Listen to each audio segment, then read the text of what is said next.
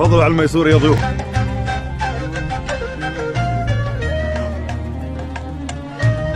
تفضلوا.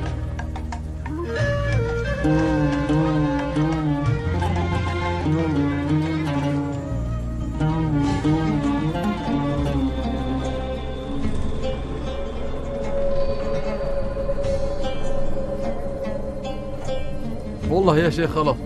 مالي خاطر بزاد شبعت من اكل التمر وشرب اللبن. لا لا. ما يصير. حين حضر الزاد ما ينصد عنه. هذه ذبايحكم ولا بد تأكلون منها.